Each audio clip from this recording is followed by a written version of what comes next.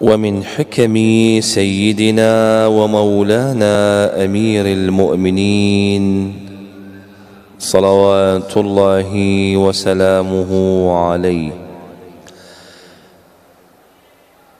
من اتجر بغير فقه ارتطم في الربا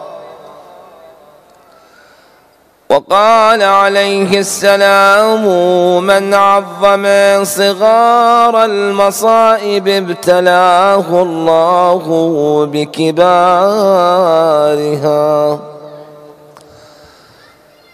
وقال عليه السلام من كرمت عليه نفسه هانت عليه شهوته. وقال عليه السلام ما مزح امرؤ مزحة إلا مج من عقله مجة.